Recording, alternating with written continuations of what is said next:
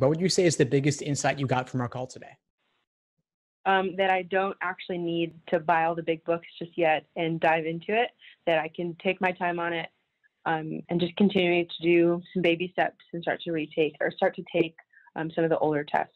You gave me a good starting point, which was which was those like those 50 tests there and, and higher. That was a really good.